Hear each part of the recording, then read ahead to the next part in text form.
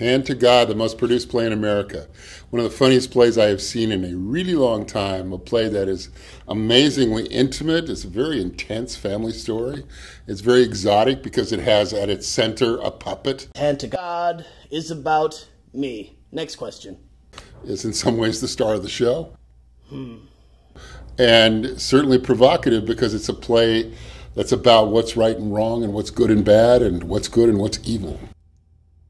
Hand to God uh, takes place in Cypress, Texas, and it's about a, a, church group who are putting on a um, puppet show. And one of the um, boys, uh, Jason, becomes increasingly possessed by his his puppet Tyrone. Ah, that is good. It's about this puppet ministry that um, that has havoc wreaked upon it by a by a puppet